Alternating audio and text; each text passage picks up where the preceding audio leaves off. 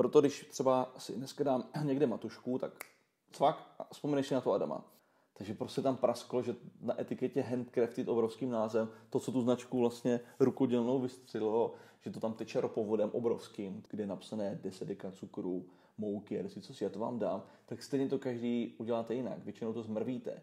Dělejte třetinkové piva a dělejte sixpacky a všichni budou spokojení. A když komukoliv řekneš, jdeme na pivo, tak každý si prostě představí ten tuplák té Plzně. A proto je těch 90% těch lahví jsou cizí výrobci, protože to jsou ty činky, které ty potřebuješ. Pokud chceš destilovat nejaromatičtější a nejčistší destiláty, tak, tak prostě neexistuje žádná jiná možnost, než koupit jejich technologií.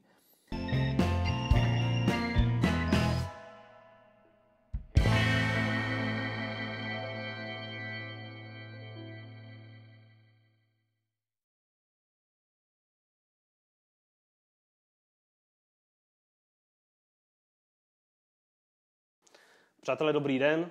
Já vás dnes vítám u osobností piva s Davidem Jandou. No a Honzou Gremelou. A Martinem Žufánkem. Přátelé, zdár. Tohle je místo, kde jako zcela upřímně jako neseme moc lidí samozřejmě. A, takže tady většinou buď sedím jako já s bráchama a pijeme, co jsme si jako vydestilovali. A pak si sem zvu jako různé přátelé, jako chlastometrické přátelé, a, kteří kteří to se mnou eh, třeba táhnou už fakt těch jako 20 let a kteří uh, už tu hubu mají naštelovanou jako podobně jako já. Takže občas se stane to, že já třeba vydestiluji nějaké uh, nové typy absintů a zavoláme sem a sedíme tady a degustujeme, ale nechci, neřeknu vám žádné jméno, neřeknu žádné jméno.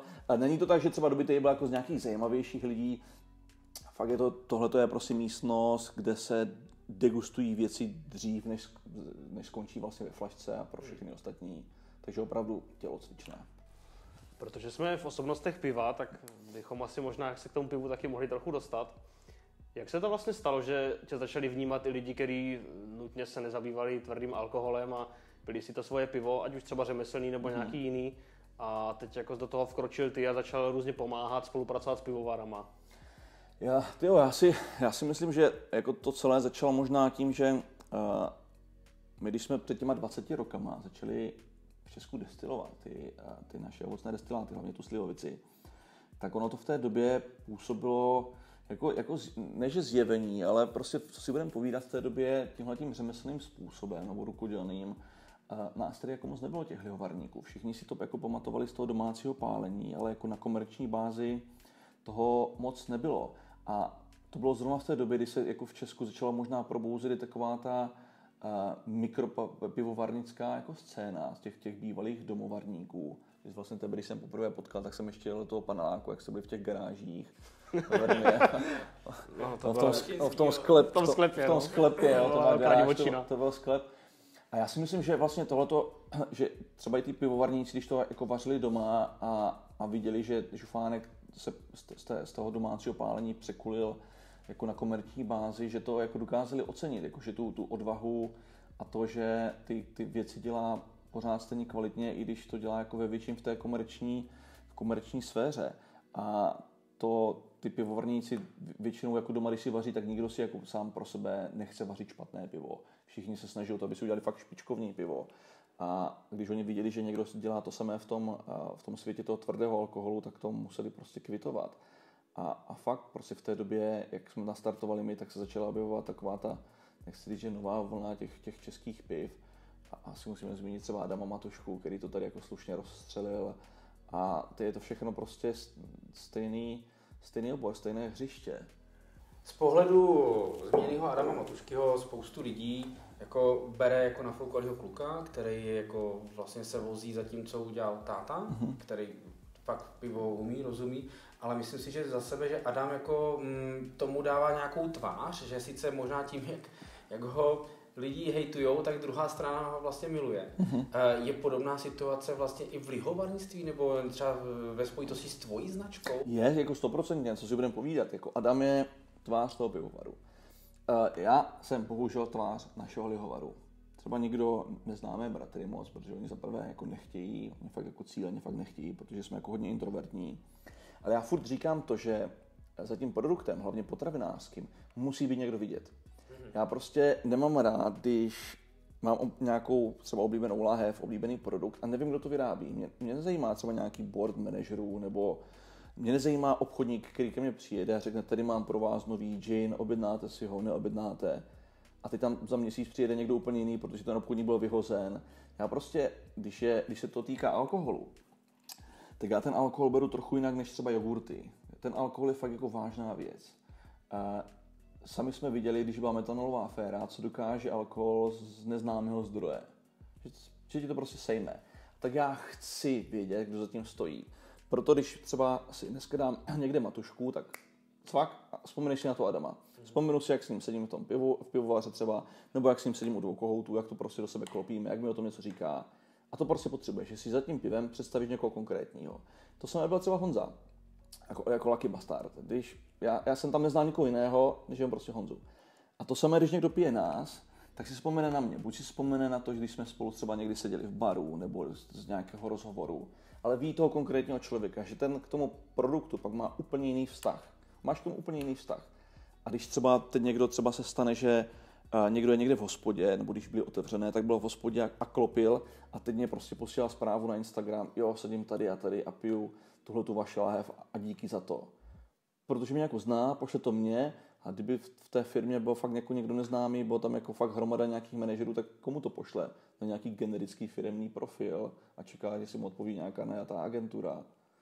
Takže proto já, proto já prostě uznávám, že za tím produktem, ať je někdo konkrétní, ať třeba ten Adam Matuška, nebo ať já za Žufánka, nebo třeba Pepa Průšel Průše, když dělá tiskárny. Někdo nezná tam tu armádu těch 500 lidí, jak tam pájkou, dělají spoje a ty tiskárny. Každý si vzpomíná Pepu Průšu a ten produkt má prostě tvář.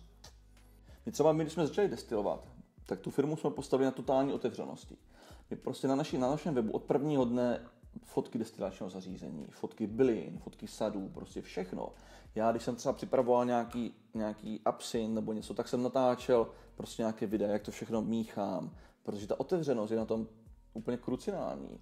A když si pak otevřel konkurenční weby, tak někde tam měli třeba nějaké flašky, jak jsou zapíchnuté někde v písku na Sahaře, víš jak, tyhle. Nebo nějaká flaška v potůčku, nebo se někdo jako s tím jako selfiečkuje a všichni jako úplně schovávali tu výrobu, jako to místo, kde to vzniká. A pro Bůh, jako když chceš mít jako pít jako potravinářský produkt a nad to ještě alkohol, tak tě musí zajímat, odkud to pochází, kde to vzniklo, v jakých podmínkách. A to, když to všichni jako skrývají a všichni jsou jako tajní a nemůžeme tě dovnitř pustit a nic ti neukážeme, to obchodní tajemství, bla, bla, bla. Nesmysl. Hmm. Proč si myslíš, že to ty lidi dělají? Protože já jsem s tím taky setkal, že se někoho zeptáš, hele, proč to vlastně děláte takhle? A on řekne, to já nemůžu říct, to je, to je tajemství naše a my to děláme, protože to tak máme tradičně. No. A většinou je to tak, že když to já tohle jako vidím, když mi třeba někdo řekne, já ti nemůžu ukázat, jak to u nás vypadá, tak okamžitě, co tě první napadne, že tam je nějaké jako šméčko v tom, hmm. že, že je něco špatně. A jako třeba když jsem měl, to, to jsem o tom psal někde na, na Facebooku a nejmenoval jsem konkrétně, že jsem v tu největší páleničáckou sezónu, což bylo jako třeba v listopadu, v prosinci, že jsem měl kolem nějakého jako známého lihovaru, který jako chrlí na trh jako spoustu lahví, jel jsem kolem a tam jako řetěz na bráně, víš, jako všechno zavřeté, tam všude tma, jako nikdy jako nebylo vevnitř, nic se jako nedělo a, a to si pak jako říkáš, ty tak odkud se to bere, nebo jak to prostě vzniká, nebo co, co zatím skrývají, protože jako neexistuje nic jako výrobní tajemství, to prostě už neexistuje dneska. Prostě chceš vidět ten, ten prostor, proto ty destilérky dělají třeba různé turistické tury a je to fakt jako lepší vidět. Víš, třeba teď nedávno, ne nedávno, tak jako dva roky naspět nebo tři byl podobný obrovský průser v Americe, takže to jako neřešíme třeba pouze my v Česku, ale v Americe vznikla taková značka vodky, která měla na etiketě dominantním písmem handcrafted. Až potom byl název jako vodky. A, a jak to byla taková jakože ta hipsterská záležitost, jako rukodělná, všechno stáčíme my tady, obrovský boom, prostě začal se prodávat jako blázen. A vyrostlo to do toho, že, že to byla jako nejprodávanější vodka ve Spojených státech. No a teď jako lidi, když tak pozorovali, tak říkají, tak my bychom jako rádi viděli, že to u vás vzniká, jak to jako rukodělně děláte. On říká, ne, ne, ne, prostě nemůžeme nic ukázat, nic, nic takového.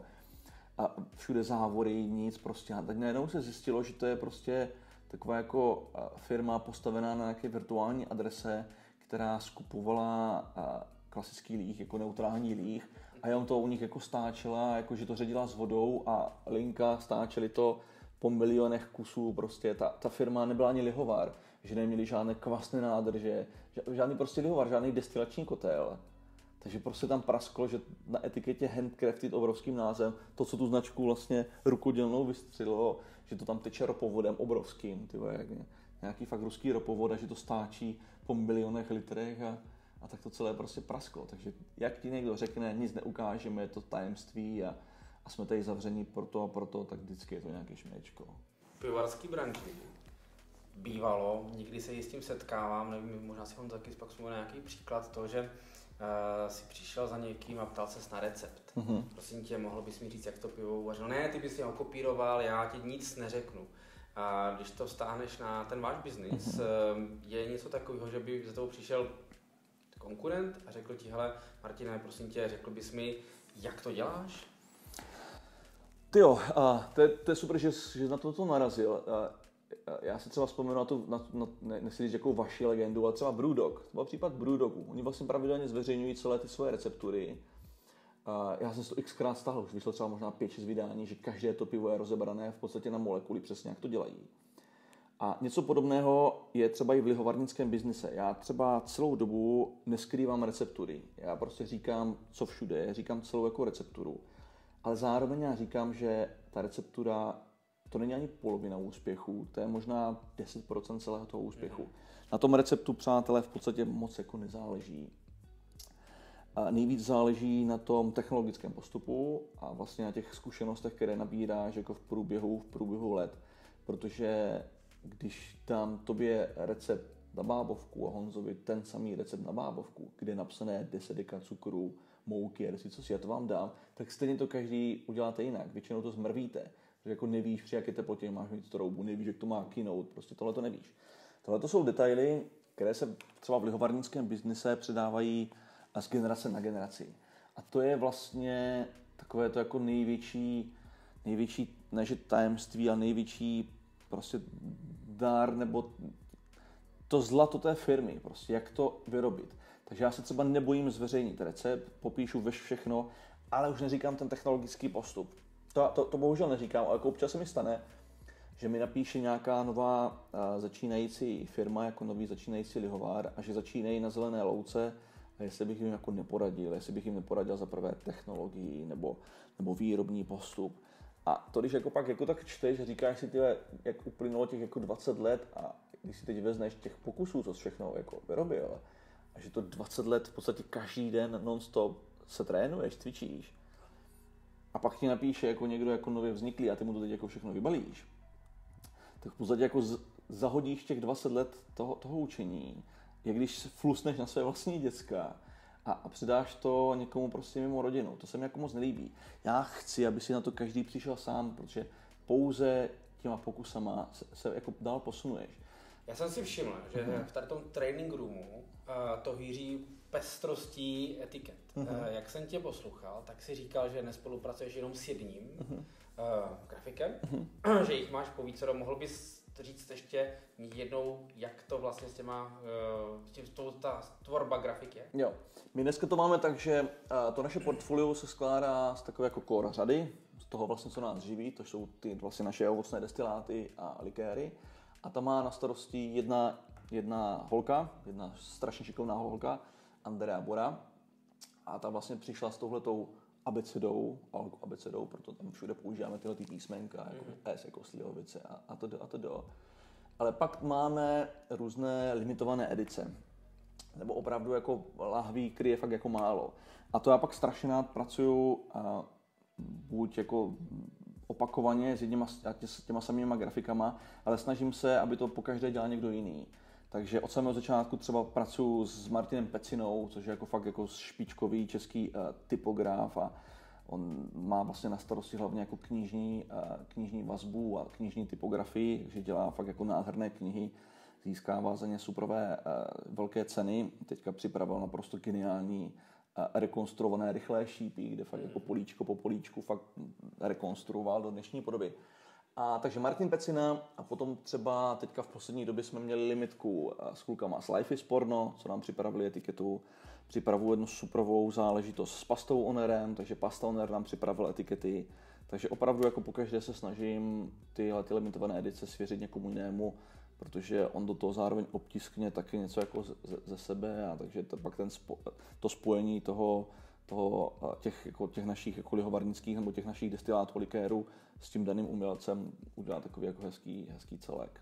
Na začátku, když jste dělali etikety, měli jste nějakou vizi, jak to má vypadat, nebo jste si řekli takhle u stolu s bráchama vlastně v rámci, v rámci rodiny a bude tam z, ty dvě, ty, ty procenta tam jo. nějak jako vzniknou, nebo mělo to nějaký vývoj? Ne, ta vize byla zcela jasná. V té době, kdy jsme vznikli, tak ty ostatní konkurenční etikety většinou byly nějaké malované a byly tam třeba nějaké švestky, nějaké větvičce, nebo nějaká holka v kroji, nebo nějaký sklep. A my jsme řekli, destilujeme čistý ovocný destilát, budeme mít transparentní etiketu s, s žádnou grafikou v podstatě. Bylo tam pouze to naše procento a nápisy. Takže my jsme měli jako neexistující etiketu, nebo prostě takovou z dnešního pohledu by člověk řekl, jako, že fádní, ale v té době to bylo fakt brutálně minimalistické. A už to nám třeba hodně pomohlo, protože to bylo tak strašně netradiční a neobvyklé, že se objevila etiketa, která byla čirá, která neobsahovala uh, žádnou holku v kroji, žádný sklep, žádné švestky. A tak i to tomu pomohlo. A je, je to z toho důvodu, protože já třeba, já mám takové prokletí. Já nejen, že to musí jako třeba dobře chutnat, ale tak to musí třeba dobře jako vypadat. Je, jako souvisí to, souvisí to se vším. Takže když máš jako kvalitní produkt, který je ve flašce, uh, která vypadá jak flaška od sodovky a je na tom nějaká jako hnusná etiketa, tak automaticky tě to tak jako nějak odpuzuje, nebo automaticky ten mozek naladí tu pusu na to, že ten produkt chutná levně, že ten obal tomu dá strašně, strašně moc. Proto my od prvního dne s tou grafikou a s tím stylem jako hodně pracujeme, proto já pracuji s těma dneska s těma umělcama, proto tomu jako kladu hodně velký důraz, proto třeba naše internetové stránky vypadají tak, jak jako vypadají, jsou takové jako čisté, bílé, minimalistické, protože všechno souvisí se vším a ten lidský mozek je fakt jako bestie, takže když se na to podíváš a nelíbí se ti to, tak automaticky počítáš s tím, že to bude stejně blbě chutnat. Dneska, když si prostě vybíráš pivo a značku neznáš, co je pro tebe ten nákupní atribut? Jo, a konkrétně u piva, já jsem se dostal do situace, kdy kupuju piva pouze od kamarádů. že, že jim věřím. A, a to jsme u toho prostě, to, to jsme u toho prostě, že znáš toho člověka. Takže ať třeba, ať je to prostě třeba ten Adam Matuška, nebo ať je to třeba Kuba s těma svýma úchylárnama v Crazy Clown Brewery. Ať to, ať to jsou tady kluci z Mazáka, nebo tady Velický bombardák, prostě kluci, které znáš. A to už pak jako na, na tu jako etiketu ani moc jako nehledíš. Já jako takto, mi se třeba strašně dávno nestalo, že bych to pivo koupil někde třeba nějaký pivotéce nebo někde v obchodu, protože já to pivo, vždycky přijdu to pivovaru, tam to od nich koupím, nebo mi to sem přivezou a vymění to za slivovici. Mm-hmm. Takže ke mně se to pivo dneska dostává naprosto jako přirozeně a genericky v rámci spolupráce mezi alkoholikama. Mm-hmm, jasně. A přece, kdybys někde měl být, na dovolenou určitě jezdíváš no. někam pryč, no. tak tam kamarády nemáš. Jo, tak kdybych to pivo neznal, tak bych asi fakt šel člověče pod, jak se mi líbí ta plechovka nebo, nebo, ta, nebo ta flaška, jako bez legrace. Že jako vidíš, jako, jako, jestli to, jaký to má stupeň, jestli to desítka, jedenáctka, dvanáctka, nebo jestli to nějaká IPA. Mm-hmm. Ale pak tě zaujme, jakou to má etiketu nebo jaký to má packaging, protože to pak vidíš, jako s jakou péčí k tomu přistupoval ten, ten, jako ten výrobce i k tomu obsahu, no, k tomu samotnému pivu. Mm-hmm čem ty dneska podle tebe vidíš eh, budoucnost u piva? V plechu. V plechu. Já si nemůžu pomoct, prostě pro mě plechovka piva je jako nejlepší obal na pivo. Ne, ne, nechci, jako abych dostal fakt někde nějakou sodu, jakože sklo a nechci co si.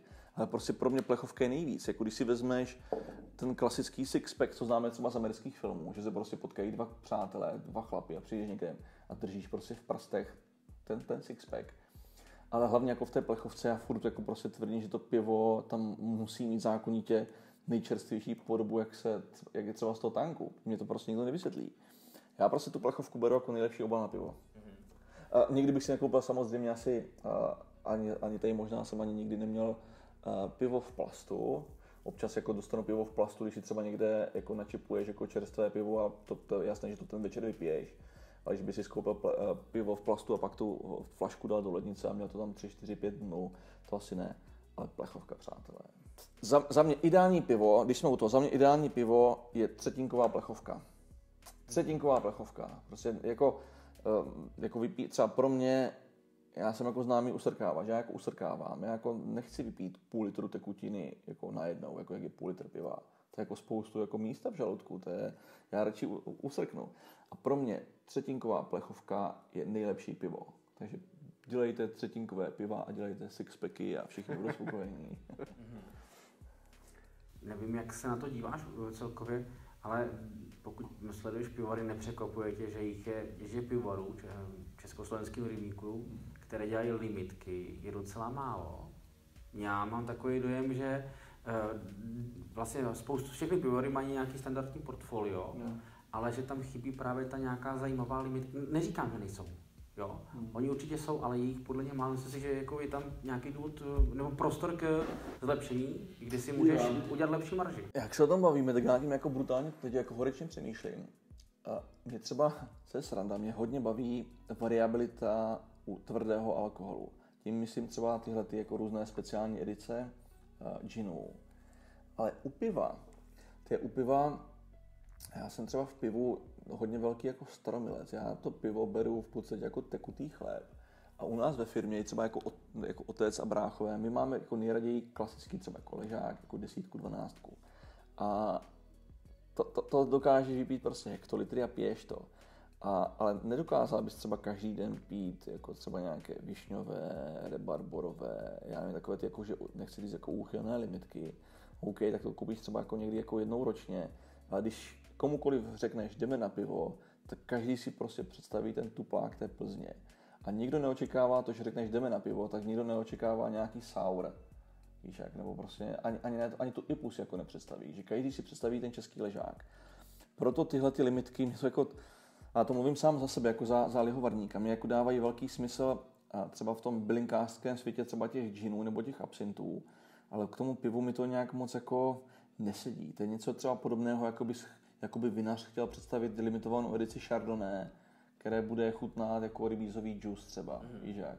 Že jsou třeba asi nějaké alkoholy nebo nějaké produkty, u kterých to jako moc jako nejde. Mm. Že raději prostě vyrábět luxusně to základní klasické české pivo, než uh, pak udělat nějaký zmetek a schovávat se za tím, že to je rukodělné, že to je limitovaná edice a že už to jako nikdy nevyrobíš a přitom je to jako nepitelné, mm. víš jak tak možná proto, že fakt jako to pivo v té české kultuře má pro, po, pořád takovou tu jako ležákovskou tradici a, a že nikdo není moc jako zvědavý na nějaké limitky, že ty limitky jsou jako mají svoji skupinu, sami třeba vidíte ty piva, které třeba dozrávají v dubových sudech a, a, a tak, nebo co jsou ty různé, různé jako cizí chmely, co se používají, různé citry a, a, a tak. Má to své kouzlo, ale nevím, u těch piv mi ty limitky moc nesedí. Jak dneska probíhá cenzorika destilátů hmm. vlastně ve vaší branži? Uh, toto je věc, která se dá pouze naučit. Nemůžeš si přečíst v, kni- v knížce třeba voní to jako acetaldehyd nebo cítíš tam něco takového. Prostě musíš pořád očuchávat a vnímat jakékoliv nuance a cokoliv, co cítíš, že jsi necítil v té původní surovině, třeba ve švestkách, nebo že jsi to necítil v těch bylinách a najednou tam cítíš něco jako ředidlo nebo odličovač jako na nechty, tak si musíš říct, aha, tak tohle to tam nepatří, tohle to jsem přece do té smysly nedal. Já jsem tam dal třeba pouze jalovec a teď to kurva smrdí jako ředidlo, tak to tam určitě nepatří. A tohle to je prostě, to se prostě musíš jenom vysvíčit ten nos. Musíš furt očichávat, furt degustovat a furt kontrolovat, protože to je to, co tě knížka nenaučí. Takže furt non-stop třeba to je důvod, když se podíváš, když se podíváte k nám na ten náš regál, tak vidíš, že naše láhve jsou pouze tyhle ty nahoře, tahle ta řada. A tohle to všechno jsou cizí konkurenční produkty.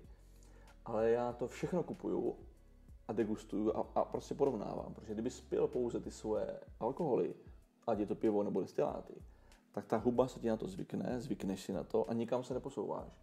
Proto já tady mám 20 druhů džinů, mám tady 100 druhů visek, mám tady 10 druhů slivovic, ovocných destilátů. Prostě od každého něco a pouze porovnáváním, čicháním a ochutnáváním a rozšiřováním obzorů uh, se učíš. Mm-hmm. Proto je tohleto training room a proto je těch 90% těch lahví jsou cizí výrobci, protože to jsou ty činky, které ty potřebuješ. Na tom to se musíš trénovat. Když bychom šli, já jsem tam nebyl, kdybychom šli se podívat dneska mm-hmm. do výroby, Najdeme tam český zařízení? Ne, ne, jako najdeme. Na polovinu, polovinu eh, naší firmy tvoří české zařízení. Máme destilační kotle z Destily Brno. Na, na těch jsme vlastně nastartovali celou naši lihovarnickou kariéru. Ale pak, když ta naše potřeba se dostala jako vyrábět něco aromatičtějšího a nechci říct ušlechtilejšího, ale prostě takového trochu jiného, tak ti to donutí využít technologii, kterou jako vyrábí dneska jeden jako nejznámější lihovarnický guru, co se týče destilačních kotlů na světě. Je to německá firma Arnold Holstein. A pokud chceš destilovat nejaromatičtější a nejčistší destiláty, tak, tak prostě neexistuje žádná jiná možnost, než koupit jejich technologií. Oni ty destilační kotle, je to prostě rodina, která je vyrábí už asi 50. nebo 60. rokem. Je to teďka jako druhá generace, je to, je to fakt hodně starý pán Holstein a jeho dneska asi 40 letý syn, nebo 50 letý syn. A oni postupem prostě času tu technologii dotáhli do tak špičkovní úrovně, že ten výsledný destilát, když použiješ stejný recept, stejný postup, stejné cokoliv a vydestiluješ to na té české koloně, a to samé identické vydestiluješ na té německé koloně, tak já nechci, aby to znělo jako z pelíšku, jestli to jako americká nebo prostě ruská ložička, nebo německá, východoněmecká, tak ten rozdíl tam prostě je. Je to, je to rozdíl, ale jim to prostě trvalo třeba těch 50 let. Mají tam nějaké ty uh, technologie patentované, oni jsou třeba ti průkopníci takových jako uh, zvonečků na těch destilačních rektifikačních patrech, každá ta součást má svůj specifický tvar, každá ta součást má specifický průměr, ale tohle to všechno má svůj důvod, svůj smysl a jim to tak prostě funguje. Proto třeba oni dneska, když, to je fakt velká legrace, je to jak nějaká automobilka, oni přijedou na nějaký veletrh, vystavují tam destilační kotel a první, kdo tam naběhne, ta konkurence samozřejmě, s nějakýma šuplérama, s pravítkama, víš, a čumí, co zase jako vymysleli nového. Protože oni jsou fakt jako zatraceni dobří a ten rozdíl je fakt jako brutální. Kdy třeba já dneska fakt jako s oblibou říkám, že my jsme v pátek ukončili destilaci našeho džinu na té české destilační koloně a v pondělí jsme pokračovali na té nově namontované německé koloně a ten výsledný produkt byl jako přátelé diametrálně odlišný. Byl to prostě úplně nový produkt. Takže dneska záleží na strašně moc věcí, co se technologie týče a pak postupem času zjistí, že je jenom jeden výrobce, kterému se to pak podařilo vychytit k dokonalosti a, a ten výrobce bohužel není český.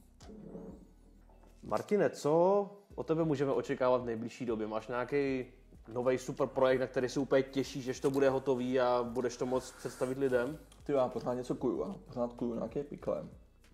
Já mám v zásobě opravdu spoustu alkoholu, protože my u nás jako non-stop, my u nás, my u nás fakt jako non-stop destilujeme. My u nás totiž jako non-stop destilujeme. Furt něco připravujeme a všechno děláme víceméně jako do archivu, jako do zásoby. Takže já nic neoznamuju dopředu, ale třeba letos přijdou tak strašné pecky. jedna, jedna z nich už přijde jako docela brzo, možná třeba příští měsíc. A to je třeba věc, na kterou pracuji jako docela dlouho, obsahuje úplně jako šílené suroviny. Takže jo, jako chystáme spoustu věcí, akorát my jsme docela slavní tím, že to jako vůbec ne, jako neoznamujeme a nikdo o tom neví do poslední chvíle. Pak se to hodí na e-shop a pak to celé kolabuje. Takže jo, něco, jako kuju, furt něco chystáme. Já už dneska říkám, že my se jako u nás pouze hrajeme, my jako neplánujeme vyrábět nějaký produkt, který by třeba objemově, dochá, objemově vycházel jako třeba slivovice nebo takové ty core řady. Ta core řada já si myslím, že je uzavřená, že jako víc ovocných destilátů u nás neuděláme. Takže je čas pouze na takové hraní si a jako ultralimitované edice produktů o 500 tisíc lahví maximálně. No. Takže on takové to, takové to špeky, kterýma se člověk pak už hraje. No. Tak já mám ještě jednu takovou typickou otázku. My se pivovarníku ptáme, uh-huh. jaký pivo bys byl, kde bychom tě našli, jaký druh piva bys byl, jaký styl. Ale protože ty máš ten záběr trošičku postavený jinak, tak se tě zeptám, jaký alkohol bys byl, kde bychom tě našli a kdo by se tě vlastně kupoval? Já dneska bych byl asi absintem. A za prvé to, kdyby mě třeba této situaci, kdyby mě někdo vydestiloval, tak já si myslím, že v mém těle je dneska tolik absintových bylin a tolik absintů, že by se ze mě vydestiloval pouze zase, zase absint. Dneska bych byl asi přátelé absintem, protože já za tu, za tu dobu, co to, co to na alkohol vyrábím, zjišťuju, nebo jsem zjistil, že absint zraje ze všeho nejlíp. To je to prostě alkohol, který až neuvěřitelně hezky vyzrává za docela krátkou dobu.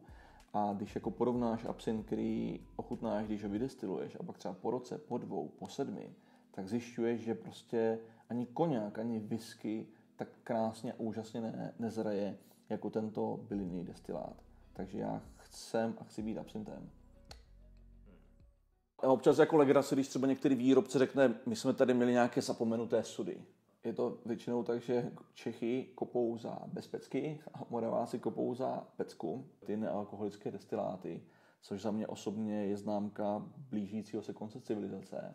To je prostě, my jsme dospěli svého píku a, a už se defou si dolů. Ty lidi jsou schopni udělat 60 registrací, že udělají registrace na celou ulici prostě, na celou kolej a pff, je to fakt peklo.